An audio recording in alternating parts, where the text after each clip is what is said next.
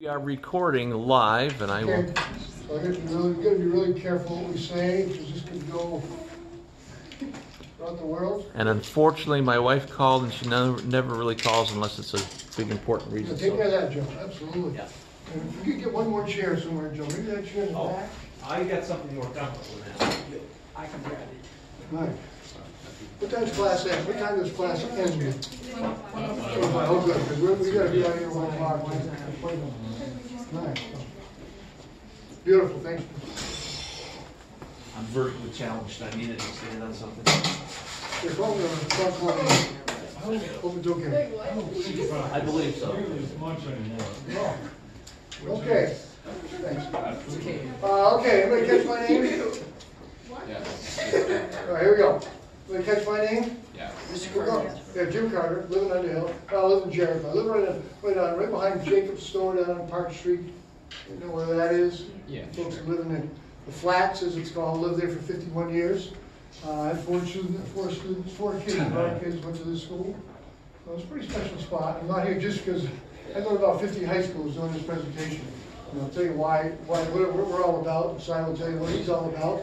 Um, came here yesterday, been here probably two hundred times over the last twenty years. Um, we're around schools, talking about safe driver driver, safer driver, what's on your permit?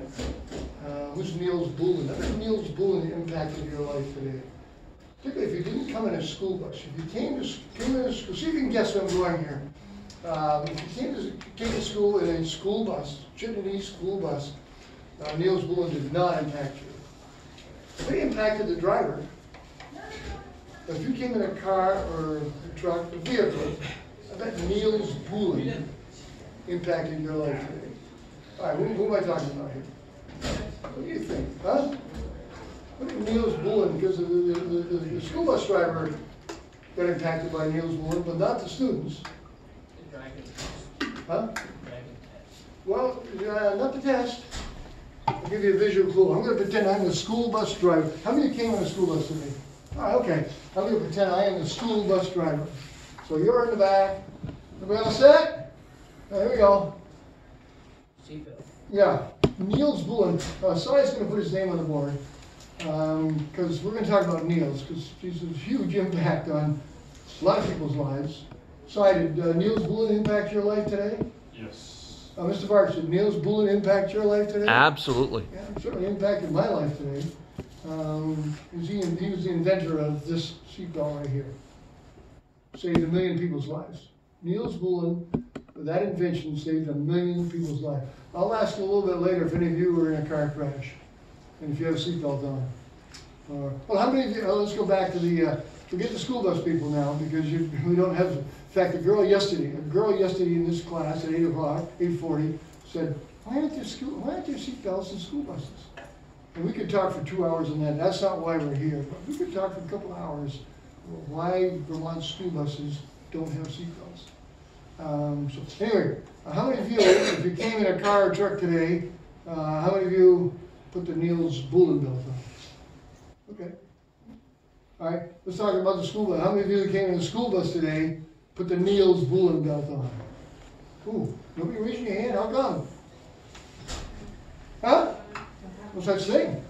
No such thing. There was a terrible uh, school bus accident down in uh, Moretown last uh, last week. If anybody saw this, kids go to Harwood Union High School. Oh, Oh, you saw it? wait, when did it happen? Uh, last Wednesday, I think, or maybe two maybe two weeks ago Wednesday. Oh, no, I had a car crash that happened yeah. Well, uh, there was almost a catastrophe disaster down in Harwood Union High School. Here's a school bus going up a hill, loaded with school, loaded with kids from Harwood Union High School. Icy, icy, slides back, slides back, slides back, slides back.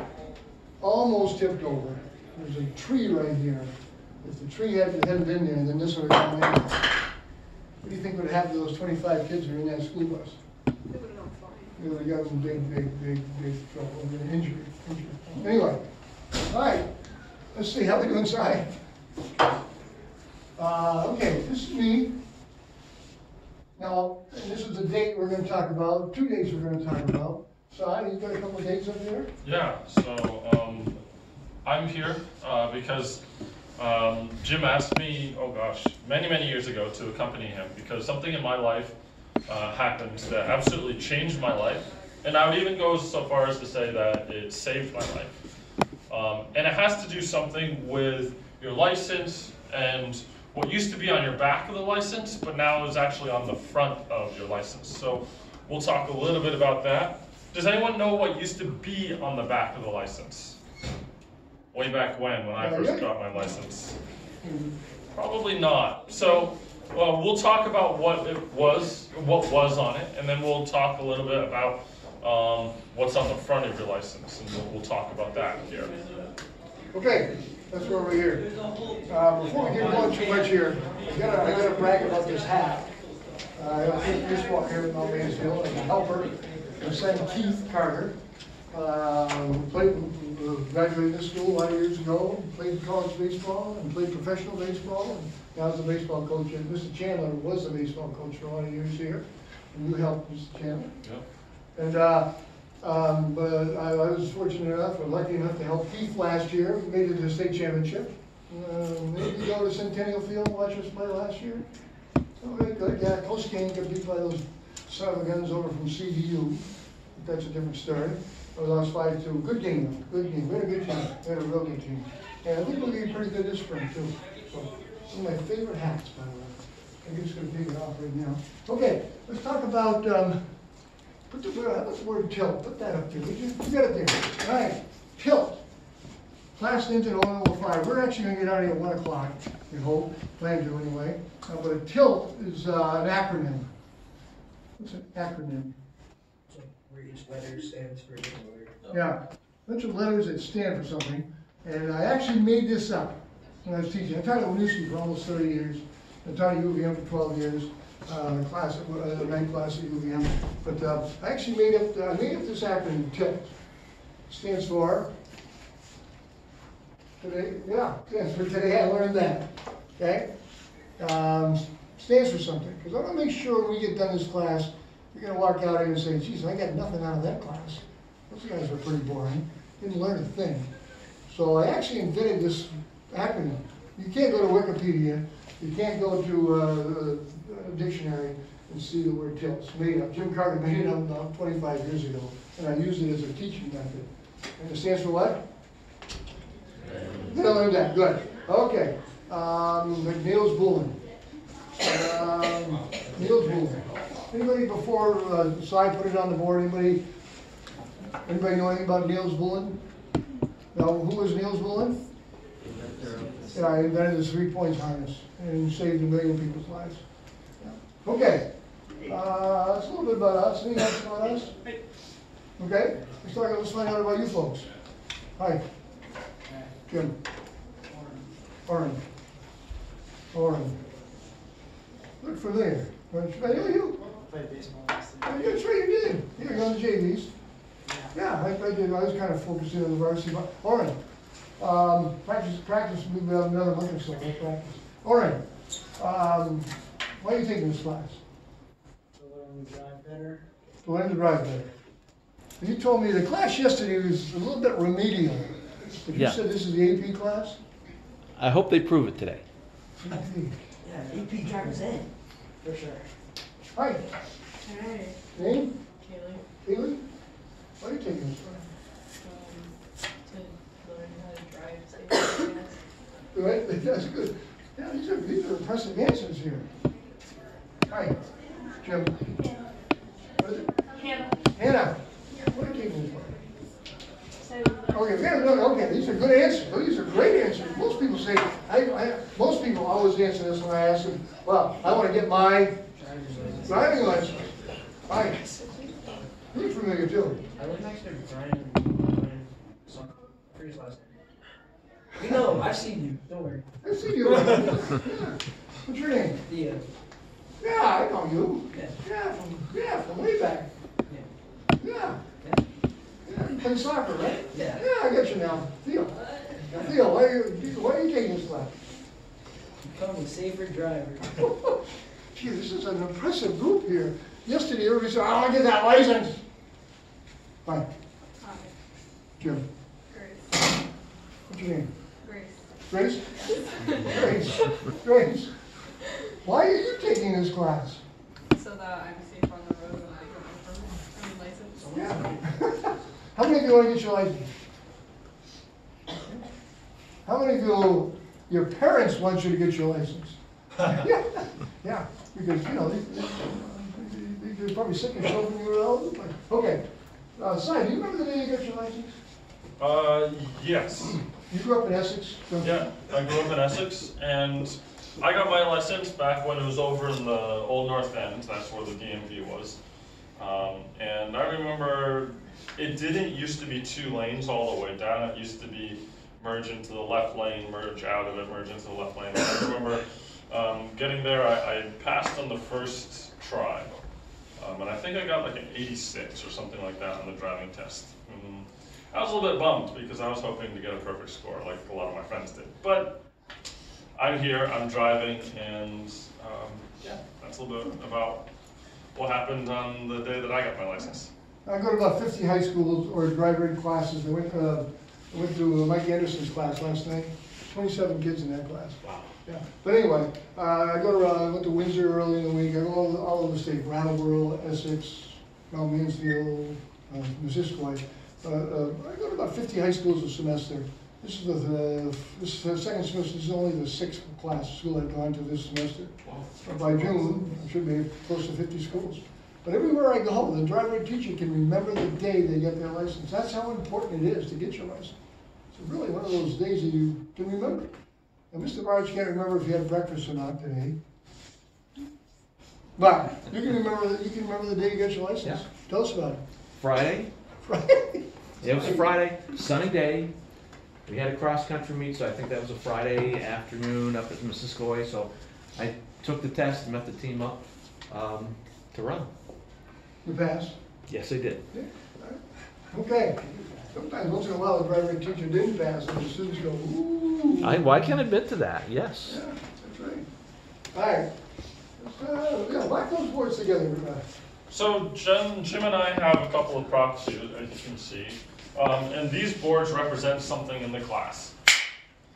Um, we do this, or what might this represent in, um, in a driver's ed class? I wouldn't be doing the, this in a math class necessarily, but what does this represent? Car doing what? Yeah, go ahead. two cars colliding. Yeah, colliding or crashing. Yeah, yeah. Now, you know, driving is a great thing. It's freedom, it's independence, it's choices, it's responsibility. It's a big deal. It is a big deal getting your license. Don't ever take it for granted. I'm gonna give you a little quick political statement here. Um, My wife and I uh, live in the flats. We have four of our kids go to school here, two daughters, two sons. But I'm gonna make a political statement because I taught history for thirty years. I love politics and love history. Um, But uh, I'm glad our daughters did not grow up in Saudi Arabia. See a couple of people, Oren's shaking his head, a couple other people, Theo's shaking his head, you're shaking your head. What's happened in Saudi Arabia in the last year about women driving? They were just allowed. Thank you very much. Yeah, women until last year, until June of last year, uh, were not allowed to drive. Imagine a country telling half the population that they can't drive. That's, that tells you something about a country, I think. That's just my political statement. Okay, moving on here. Um, Si, what, what do you got there, Si? So I, um, there's a lot of times where crashes are caused by something. They're not accidents, so to speak. Accidents happen out of the blue. Um, but there's a lot of there's a lot of times crashes happen due to human error or something that's going on with the car or the environment. Um, so we have up here. I'm gonna ask you five things, or Jim's gonna ask you five things um, about what could cause a car crash. I'm kind of a hands-on, hands-on, but also a hands-up person. Just raise your hand, tell me something, Theo. Drunk driving. Yep. Yeah, he's gonna put up his DWI, stands for driving while intoxicated. Now it's DUI, driving under influence, yeah? Yeah. Like an animal or something. Oh, yeah, absolutely, some, some of a distraction, and- yeah, yeah. I did my, my driving career, I hit deer probably at least three times. Back, we got two, we got more, yeah. Um, Can we say texting? Yeah, uh, distracted texting. Yep, okay, yeah, Drowsy driving, was that? drowsy. Oh, yeah, being tired, that is a big one. Yeah, yeah, being, yeah, yeah. Uh, Mr. Barnes, you ever fallen asleep driving? Yes, painfully once. Only once. Only once. Yeah, okay, we need one more. Or, Orin's hesitating here, but he's got one. Driving in extreme conditions. Yep. Oh, yeah, geez, you're looking for a little bit of maybe bad weather the next couple of days. He, he's praying for a snow day on Friday. Not gonna happen. Well, You know, uh, yeah, snow days are, you know, I taught for thirty years, uh, Winooski, we rarely had, because kids could walk to school, Winooski, one square mile. We didn't have any snow days, and, because we were no school buses. I drove by twenty, there's twenty-seven school buses parked out here. If I'm the superintendent of the school in- in Mount Mansfield, Jimmy needs John Alberghini, that's a tough call. But you got twenty-seven school buses on the road. Okay, uh, let's talk about, um, well, let's talk about the DUI one real quickly. Um, I came up from where I live and I went down, uh, Route fifteen, went on Packard Road.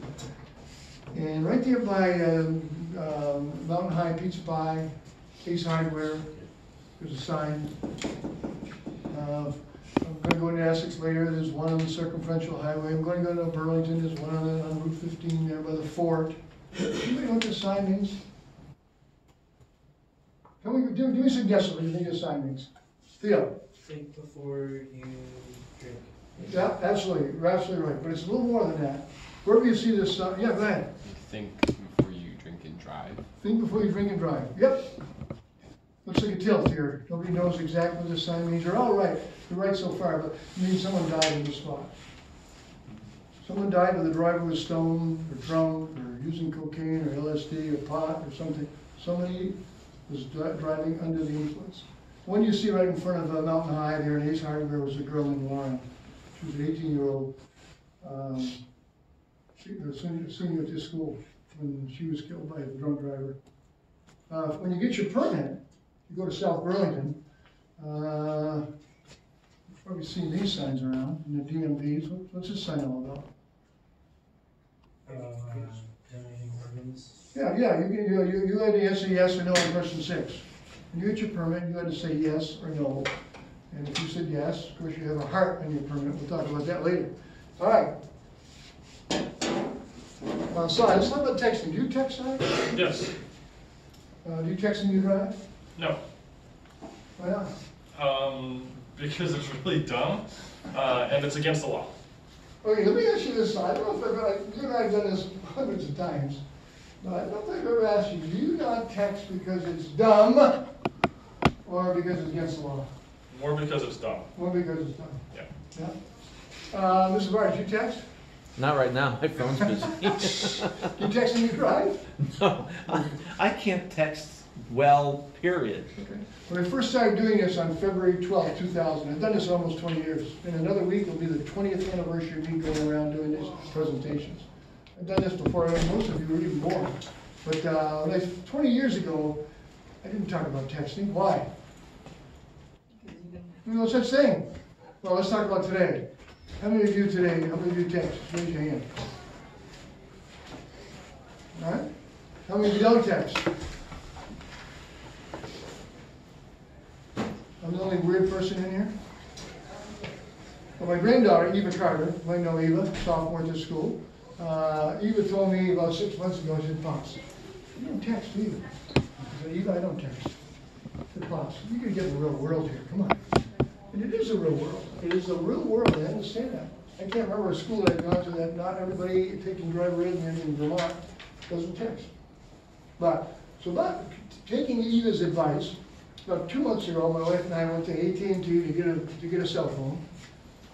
So I said to the salesperson, eh, you know, I don't need anything too fancy, and I just need something that I can text with and communicate with. So he said, I have just the thing for you. So he sold me this. Raphael, is this the coolest thing you've ever seen? Cliff. Huh? I used to have What do you think? Sorry. Oh man, that's an old phone. You saying I'm old, is that what you're saying? No, I'm saying the Oh, old oh, phone is old. Okay, all right. All right, let's talk about texting. Against the law in our state, and also it's incredibly distracting. Well, how do I know that? I don't text. Well, about five years ago, I said, you know, I better find out about this texting thing. If I'm gonna go around, around the state, and, and I do a couple of presentations in New York, a couple in New Hampshire, but if I go around pretty much Vermont, and, uh, and I gotta find out about texting, why is it so dangerous? So I went to an expert, a neurosurgeon. What's a neurosurgeon do? Uh, surgery on the brain. Yeah, brain surgeon. Her name is Dr. Erica Sweet. She studied the brain for 15 years. So she told me why it's so dangerous. And back uh, five years ago, when I got talking to her, it was against the law in 31 states. Okay, it's now against the law in 49 states. You- What guess, what, you give me a guess here. What state do you think, is it still a law, that still, it's still not against the law to Texas. Either begins with M, the state begins with M. Montana. Montana is correct, Theo. Did you know or you were guessing? No, I was guessing. You're guessing. Play the lottery tonight, Theo. All right, um, yeah, it's against the law, but still, still you can drive, other than Montana. Why? Well, here's how dangerous it is. Let's go with Grace. Jim, thanks for volunteering, Grace. Right. Yeah, we'll give her, we'll give steering wheel, she can drive them. Okay, I got the iPhone zero for Grace. Right, Let's go with Orin, right? yeah. All right, thanks for volunteering, Orin. Right. Look, you're gonna be driving on the other lane, Orin. Yeah. Which one you want? Okay, okay, okay, okay. All right, Okay, here we go. Let's find out two things. What's the penalty in Vermont for texting and driving? And let's find out what Dr. Sweet told me. Who's Dr. Sweet? The nurse. Neurosurgeon, University of Vermont Medical Center, said the brain for fifteen years. Here we go, Grace. Right, Grace, you're driving, so you're gonna be looking that way, but you're gonna be looking down and looking up. That's what Dr., that's what Dr. Sweet told me is why it's so so distracting. Right, here we go, one-handed here. Yeah, Look down, you're gonna text him, okay? Here we go. Down, up. Down, up. Uh, Grace, what town do you live in? Jericho. Jericho, okay, we use, we use the Jericho sheriff. Okay, good. Oh, you're looking that way now. Okay, all right, here we go. All right, here we go. I'm gonna be the sheriff, I'm gonna be the sheriff. All right, you're uh, on uh, Route 15.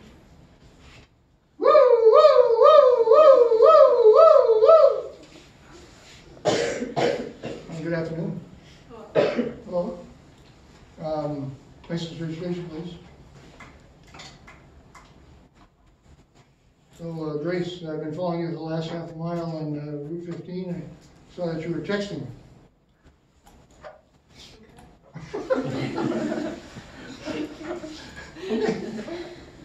Yes, right. Uh, Here's the penalty. Bring up the penalty here. Yep. Yeah, $239 fine. That's, a- that's a fine for anybody in our state. Anybody in our state that gets uh, busted for texting drive. The next thing's gonna really affect, um, Grace's, is she's gonna get five points on her junior operator's license. What's gonna happen, Mr. Pryor, if Grace gets five points on her junior operator's license in the state of Vermont? Suspended for 90 Uh, days. Lose your license for ninety days, that's the penalty. So now you have a suspended license. The DMV, what's the DMV, Department of? Motor vehicles, they're gonna let you folks know that you're, really important, Grace, that you tell your folks that you get busted for texting. But the, the DMV will let your parents know, and then the insurance company is gonna let your parents know, and as Si said, the insurance is gonna double for the next two years, two or three years. Your Parents gonna be happy with you, Grace? No. No. Okay, now, how does Orin, what's Orin doing up here? Well, the second part of this is what Dr. Sweet told me, okay? So, um, little hand for Grace. Okay, You go sit down, Grace. You're gonna take, take the iPhone zero with you. Okay? Gonna text me, Grace. Here we go. How does Orin get involved in this? All right, here we go. This is the, this is the best, Mr. Barch over the years has given me not certain, tremendous number of tilts. Today I learned that about driving. But what Dr. Sweet told me is the most profound tilt I've had in the twenty years of doing this. Okay, here we go. The iPhone one. Right, I'm driving. Now, Dr. Sweet said when you're driving, you should only use the left side of your brain. The left hemisphere of your brain is the part of the brain that allows you to focus, pay attention, don't get distracted, follow the rules. It's all a left brain activity. When you text, you use the right side of your brain. That's the part of the brain that controls the the manipulative, the creative, the physical, the kinesthetic. Different parts of your brain. But now you're going 10, 20, 30, 40 miles an hour. It's gonna confuse your brain. There we go. Okay, drive along. I look down, I'm getting a text. Oh, it's Grace. Grace is texting me. Oh, I can't dish Grace. She, she and I, we've been friends for years, right, Grace? Yes. Thanks, Grace. I'm gonna take one hand off the wheel. Hey, Grace. She says, hey. I said, Grace, where are you? Oh, driver at Mr. Barch's class. A couple speakers today? Yep. Jim and yep. Pretty boring, are they? Says, yep. More boring than Mr. Barch? Ooh, she doesn't answer that one. Down. up. So he said to Dr. Sweet, okay, so what, so what? What's the big deal? What is the big deal about all that? Because your brain gets confused. Your brain is confused. Said, what will happen? Two or three things will happen. One, you might step on the accelerator, go really fast,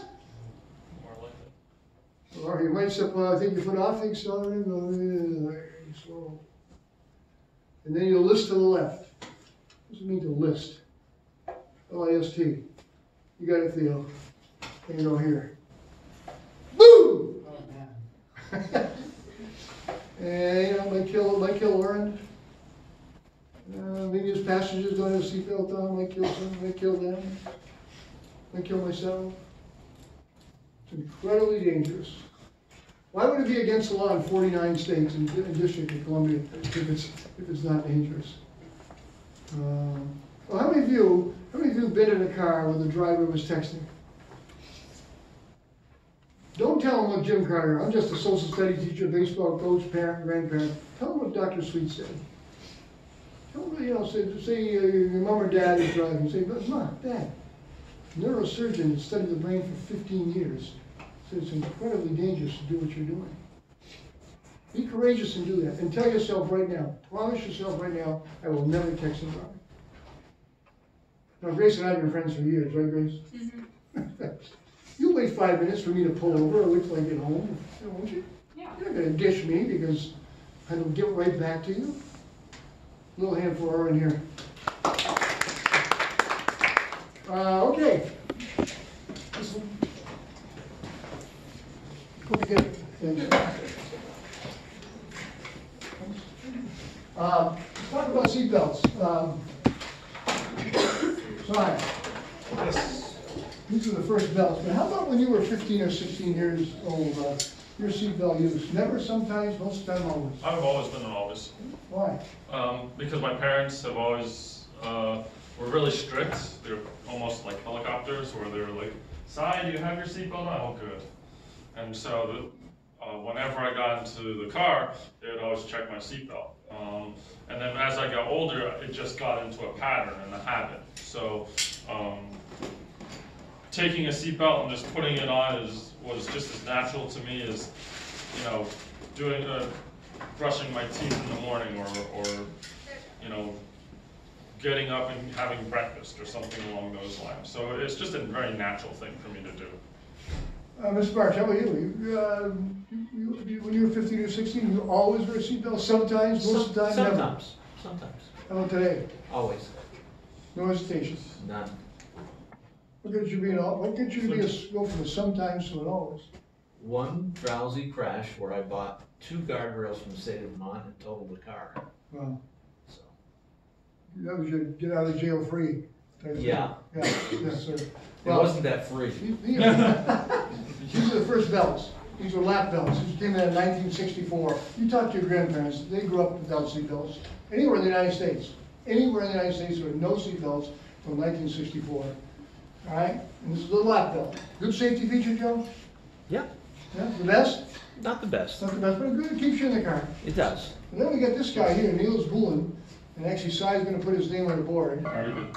It already did, all right? Now, this is nineteen fifty-nine. Wait a Oh, minute. This is a fifty-seven. No, it's fifty-nine. Sorry. This is a great year, great year. Yeah, I, I, I, I, I didn't see it for a long time, it's fifty-seven, somebody corrected me, 59. 61 years ago. Okay. Yeah, so, anyway, this is Nils Bohlin. How is this one different than this one? It's got two belts. Yeah, which one's better? Choice one, uh, Joe, or choice two? Two. Two, much better, okay? I'm gonna pass it around. This is what a lot of you put on today, and not school buses, that's a different story, you know. But take it to, to look at Nils, say, wow, sixty-one years, hasn't changed. And then turn it over and see how you answer question six. The One I've circled question six, and you said yes and no on that, okay? Great, take a look at that. I'm gonna ask these folks their seatbelt use here, Joe, okay? Okay, if you give me just a moment, because I want to capture the information that Cy put on the board. And I'm going to step I'd rather out. not, I'd rather not the video show the students raising their hand. Um, I can, I'm actually reasonably set up on that, but I will make that more, All right. I've been trying to keep people out of it in general too, so it's, So We're gonna ask, uh, Cy and I are gonna ask you your seatbelt use, never, sometimes, most of the time, always. And I was asked a driver ed teacher, done this with it for almost twenty years, if the driver ed teacher leaves the classroom, and they ask the question, why? Well, if Oren never wears a seatbelt, Mr. Barch doesn't need to know who's a never, who's a sometimes, who's a most of the time, who's an always, okay? All right, so Cy, want to explain a little bit here about that? Sure. So what we're gonna do is I'm gonna have you raise your hands um, for those options in the driver's seat, in the passenger seat the front, otherwise known as shotgun, and also in the back. Um, we found that people um, people have different habits uh, depending on where they are in the car. So um, remember, the options are never, some of the time, most of the time, and always. And just raise your hands uh, for the appropriate uh, timing. So does that make sense? All right. One thing I will have to, I will remind you is that we're looking for proper seatbelt usage here. So if you've ever uh, double buckled with someone, or you've put the lap, uh, the sorry, the shoulder harness part around your back and lay down in the car, um, that's improper use of a seatbelt. Um, so what we would bump you down is from uh, an always to a most of the time, or something along those lines. Does that make sense? All right, awesome. So when you're driving, how many of you never use the, your or never wear your seatbelt? All right, how about some of the time? All right, most of the time? All right, how about always? All right, great. Okay, So, in, Shotgun. yep, in the shotgun seat or the passenger seat, um, how many of you never wear it in the shotgun seat? How many of you some of the time wear it? I'm just gonna go that way, sorry. How many of you, um, most of the time wear it? How about always in the shotgun? Alright, in the back seat, the size put us up there, remember, he said, if you're taking the seatbelt, this man, and put it behind you. Yeah, most of the time, because then you have the lap belt on. I'll- I will actually add this too, a lot of times people your age get in the back seat with more than three people. Right, How many of you been in the back seat with more than three people?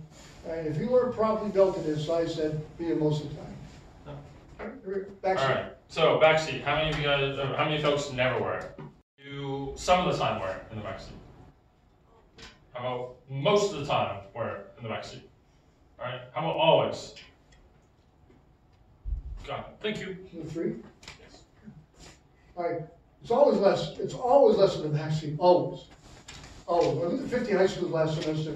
I can't remember one school in the state of Vermont, the kids in Vermont taking driver ed wore the seatbelt more, uh, uh, more always in the backseat, more than fifty percent of the time. I was here yesterday, I was here yesterday, did this presentation, and this is yesterday's class. We're 14, 14 out of fourteen. You folks were twelve out of thirteen and thirteen out of thirteen. Uh, eleven out of thirteen, uh, eleven out of fourteen yesterday, then three out. You guys are three out of thirteen. It's always less. Why? Why is it less? You feel more safe. You feel safer. Theo, you're right. You do. You feel safer. You're not safer, but you feel safer. Sometimes you can't find it. Here's next time you get in the backseat of your car, your family car, sit in the backseat just for a little bit and see if it goes ding, ding, ding, ding, ding, ding, ding, ding, ding to remind you. It doesn't. Most cars do not have a sensor in the backseat. I bet. I bet the Mount Mansfield driver ed class doesn't, the driver ed, uh, driver ed, uh, uh, car does not have a sensor in the backseat. It goes ding, ding, ding, ding. Okay? It's not that reminder. It's five times more dangerous. The backseat's five times more dangerous. Mr. Marks, one in. Thank you. All right? How about, what's your first name again? Haley? Kaylee. Yeah, Haley again, I'm sorry. Kaylee. Kaylee. All right, sorry. Kaylee. You don't have to roll your eyes, I just couldn't hear you, that's all. I did not roll my All eyes. right, sorry, I'm sorry. Hey, here we go. Uh, Kaylin. Kaylee. Kaylee. Yes. Thank you very much, Kaylee. Yes. Kaylee. What's the numbers of all this? What's the D stand for? Um, driver's seat. Yeah, what were we here, hundred percent? I mean, what were we always? How many always wear the seatbelt while they're driving? Twelve out of thirteen. Or thirteen. And the PS is passenger shotgun. Thirteen out of thirteen. Yep, and back, Three out of thirteen. yeah, thirteen. So this is really interesting, Joe. So I don't know if I've ever had this happen. More people, uh, wear their seatbelt in the passenger than they do driving. Pretty interesting. Th- That is, I haven't seen that. Yeah. Though I did share not only the fall stats at the parent night last night, but the stats from yesterday's class. Yeah, I just see this is here. Okay, let's go with, uh, let's find out about the vaccine. The vaccine's more dangerous. Hey, Kaylee. What's my name? Jim. Jim, come up here, Kaylee. All right, Kaylee's gonna be driving. Is she, uh, more, is she, is she likely to wear a seatbelt when she's driving? Twelve out of thirteen, that's probably ninety percent. Let's go with, hi. Hey, what's your name? Emma. Hey, Emma, come on. What's the, what's the likelihood of Emma wearing her seatbelt? Three out Yeah, three out of thirteen, that's, uh, that's that, probably twenty percent? More than that, it's gonna be about, yeah, something like that. All right, here we go. We crash. Let's see what happens with Emma in the back seat. We know Kaylee is gonna have her seatbelt on, she's got the airbag, all kinds of protection. She's gonna go, Kaylee's gonna go four inches. That's how far you go with the Neil's balloon down. Let's see how far Emma goes in one second. Kaylee's gonna be going thirty miles an hour. She's gonna hit an oak tree at thirty miles an hour. The car's gonna go from thirty to what? Zero. Let's see how far Emma, without a seatbelt on, goes uh, when that car hits the oak tree at thirty miles an hour. You stand up. Just a little drive with the one, yeah, okay, now go forward. Go, wait, wait, wait, wait. Go forward. Oh, yeah, but you're not, you're gonna, boom, here. I wonder what quick here, in the, in the middle. The bucket, the bucket was, was in the back, in, in, in, uh, the middle. Nothing in front of her, because we now have bucket seats. Go ahead. Keep going. Stop!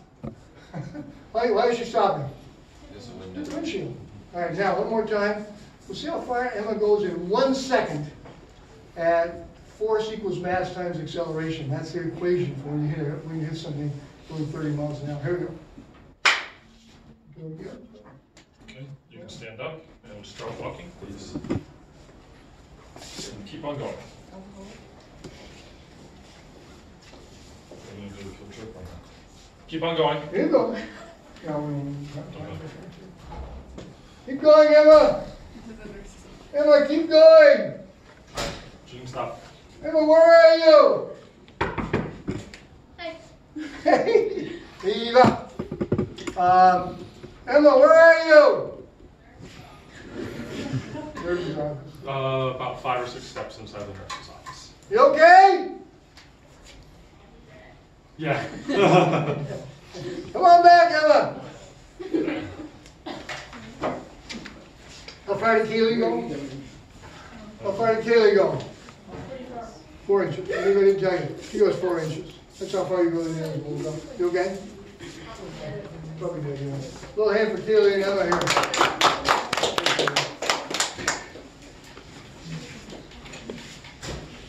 Right, now Emma, Emma's right on when she said, I said, you know, just right here, she said, I said, Howie is probably dead. And actually, here's a good still, here's a good statistic for you for the tilt later. That ninety-five percent of the time, ninety-five times out of hundred crashes, the person that was ejected, ejected means what? Or not, uh, she's DOA. What's DOA? Dead on arrival. Yeah. Time the first responder gets there, ninety-five percent of the time is, uh, understood. You okay, Emma? Yeah, yeah, you were good out here, yeah, for sure. Um, I wish, um, I wish Andrea had a seatbelt on. Well, that's why I'm doing this, that's why I come here and talk about this.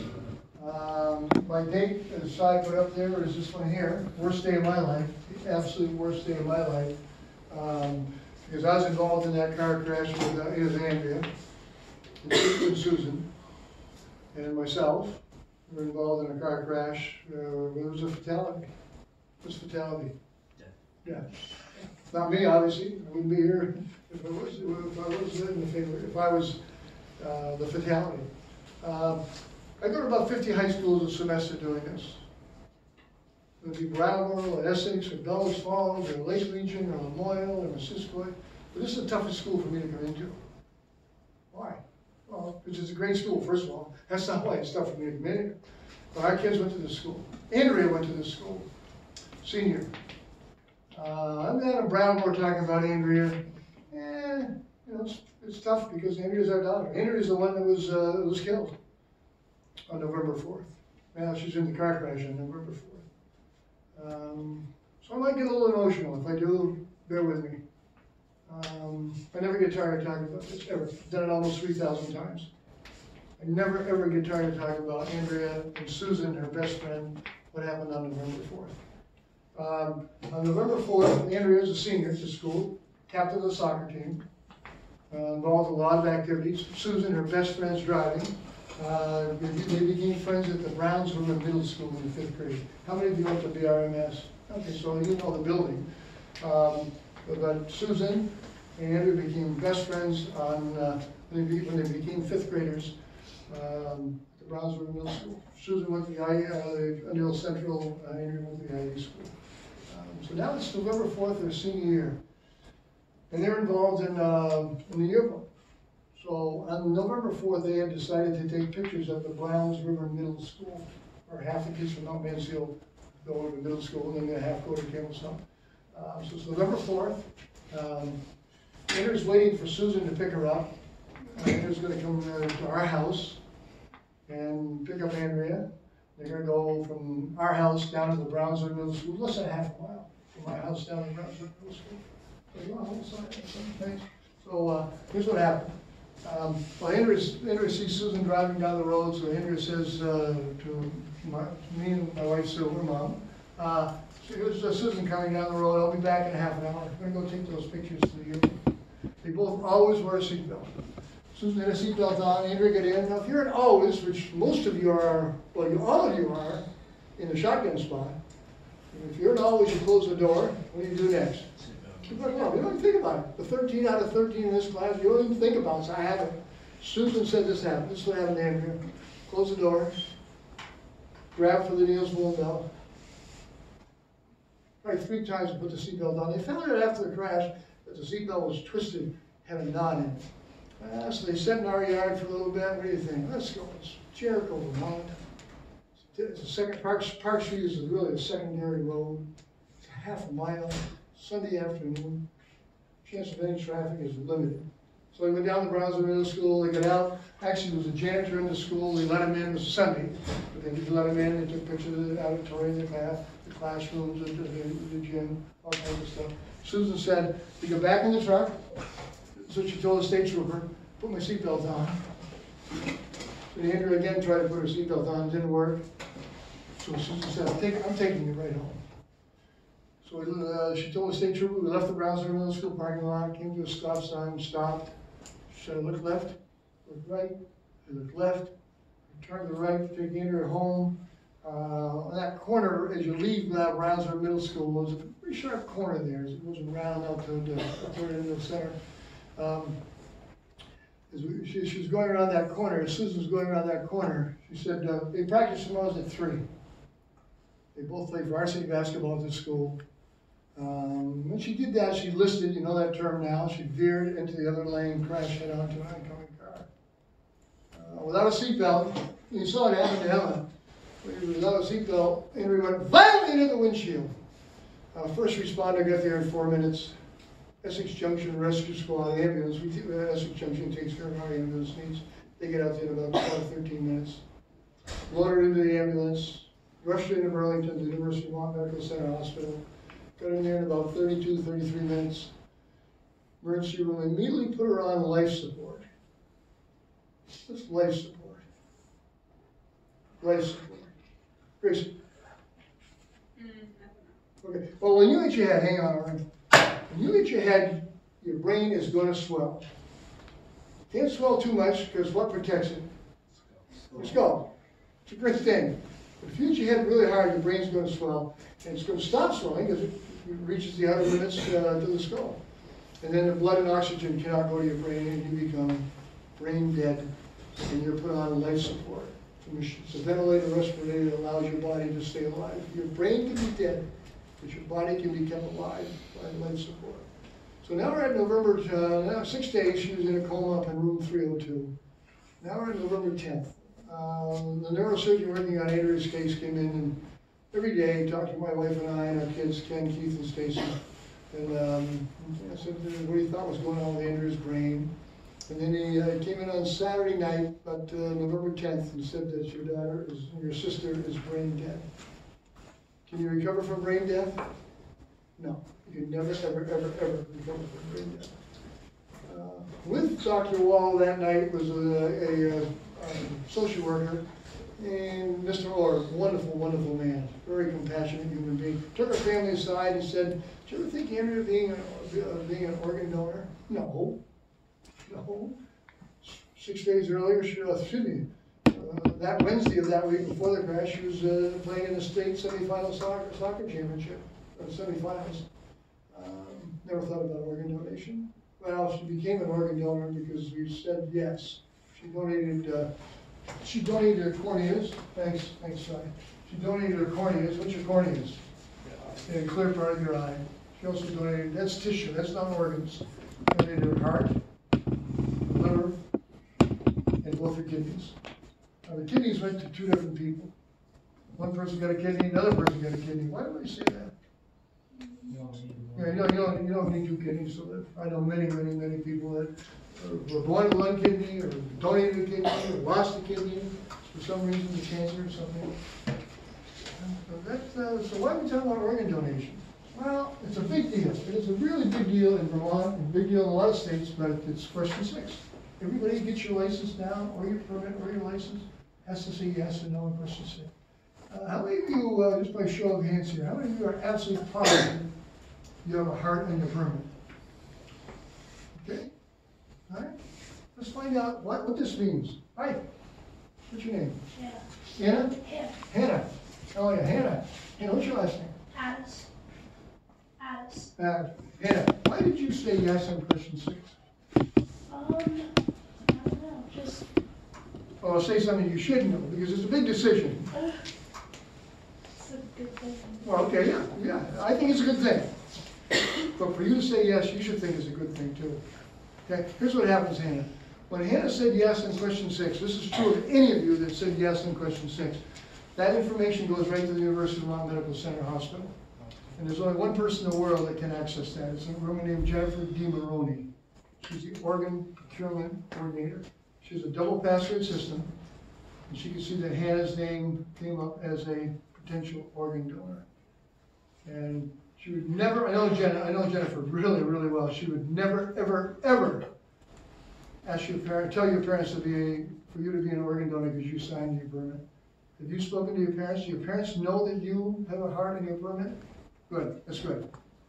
No, organs will not be taken from anybody unless a loved one says okay. With you being under eighteen, your parents have the final say.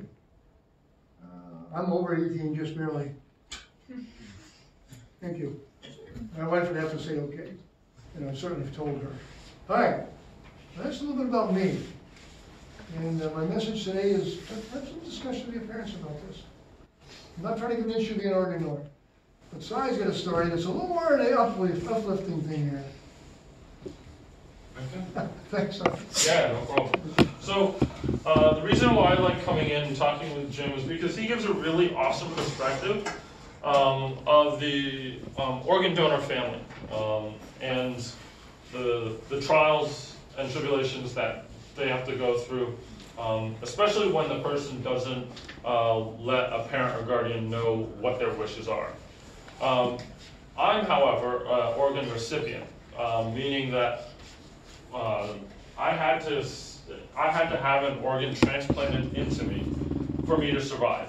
Um, essentially, when you do organ donation, um, organ donation is for those people who are really, really sick and are in dire need and they have no other options. So I was out of options, so to speak.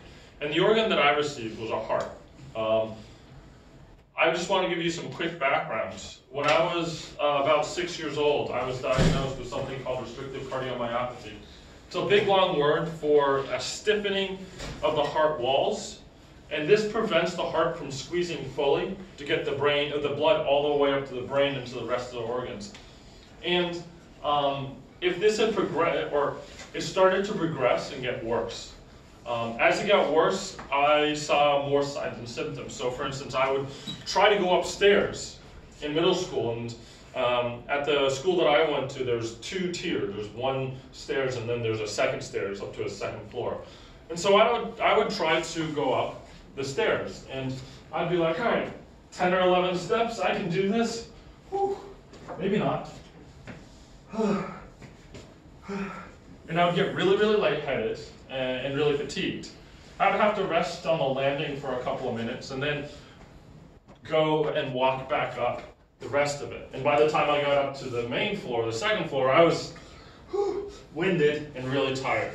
Um, so if that had progressed any worse, um, I could have had much more worse consequences, um, and my heart would have been damaged to the point where they couldn't do an organ transplant. So when I was in eighth grade, they make the decision to put me on a heart transplant list.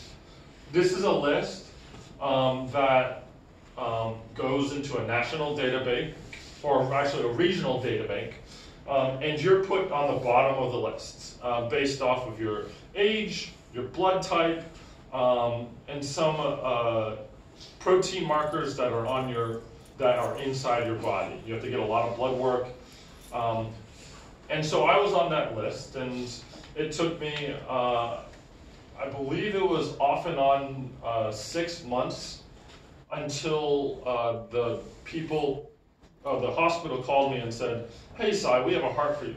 And by this time, I was in um, eighth grade, and uh, dad came into the school and I was one of those kids that never got called to the office, even for small things. So I would go in, uh, when the office came down, they said, Cyrus Roberts, please come and pick up all of your, please come to the office with all of your stuff. And I knew that that tagline with all of your stuff, that was a major issue because I was like, uh-oh, I'm going somewhere and something's happening that's not, that's gonna be good eventually, but I was not looking forward to the transplant itself. Um, when I saw my dad there, I burst into tears, and uh, with that, we kind of made our way down to, ho- to the hospital in Boston because uh, only, the heart will only survive out, outside of a host's body for only a very small amount of time. So we rushed down to Boston. Um, I got set up in a room. For the first and only time in my life, I folded my clothes, I put it on the bed, um, and uh, an anesthesiologist, which gives you the uh, funny medication to go make you go on to sleep, so to speak, um, came into me and said, "All right, I bet you, I bet you that you can count from five to zero. And I was like, "Okay." I was this, uh, you know, I was this teenager being like, "All right, let's try this." So I tried, got on this Top Gun mask, and I and with they got the medicine going, and I tried counting down. I was like five, four, three, two, and I didn't remember anything after two, or three actually, um, until the next day when my chest was on fire. Um, and I looked down and I had a, a huge, ugly red scar in the center of my chest. And my heart was, my new heart was going, lub dub, lub dub, lub dub, lub dub, lub dub, lub dub, lub dub. And the reason why that was so significant is because I had never heard, felt my heart um, be so strong. Um, when I was younger, my heart always went. So when you have a, a healthy heart in you going loved up, loved up, loved up, it was a totally new feeling, and it was, um, it was the weirdest but greatest feeling that I had had up until that point in my life. Um, and do you remember me demonstrating how I couldn't get upstairs? Um, by the time I got into high school, that next fall, so I had this transplant over the summer. When I got into uh, finally into high school in the fall, I was able to go up steps really easily.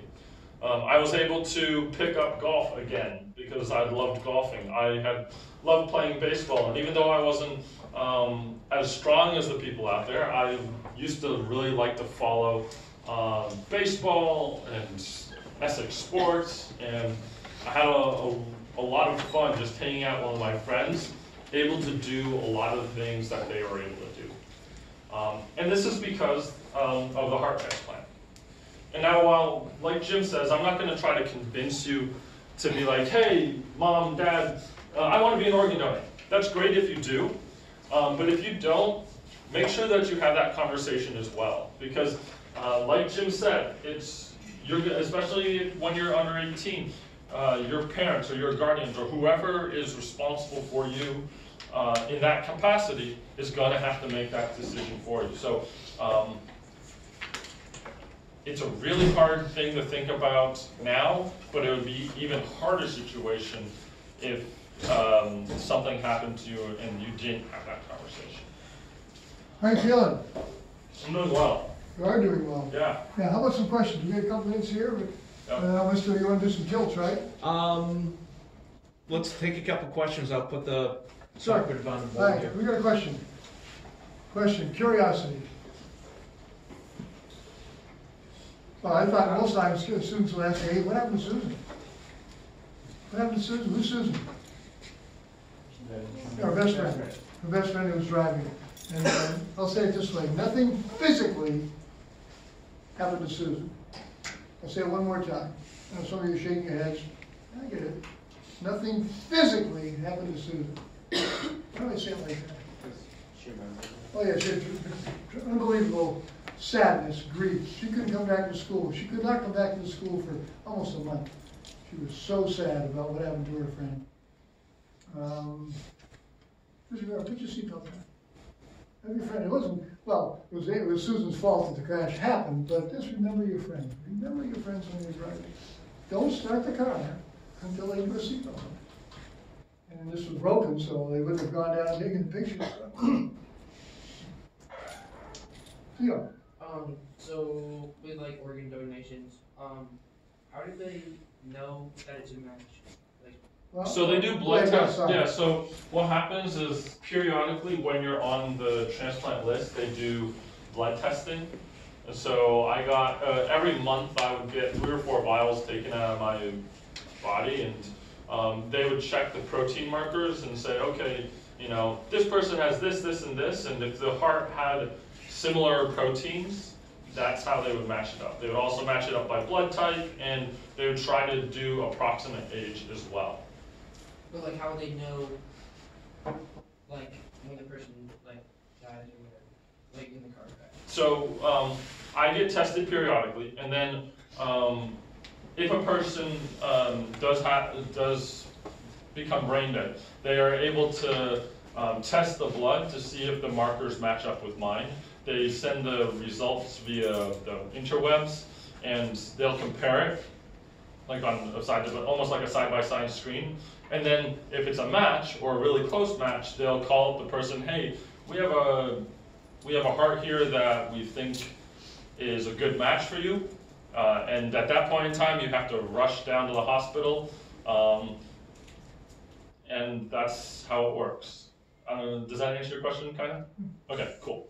If you're identical twins, you don't even have to do the blood test. And, and, but, is that right, Cy? I don't know. Okay. I think- think it's actually right. don't I know. think it's right. All right, anything else here? I know you're gonna, you're gonna do tilts? We're gonna go for tilts, Well, but this if is- there's this any is- questions this- this- first. I go to about fifty high schools. This guy is number one as far as technology going and, uh, and the tilts. He's gonna do it electronically, right? We are. And I, I got yesterday's copy. Here's yesterday's copy uh, yesterday's tilts. I'll So, Give you a couple, give you a couple Please real go to quick here. Socrative. Here we go, here's Two one here. tilts. Uh, I learned that forty-nine out of fifty states say it's illegal to text drive. The One thing I learned is ninety percent of car crashes could be avoided. This is a great, great technology, Mr. Burns. You're way ahead of the game here.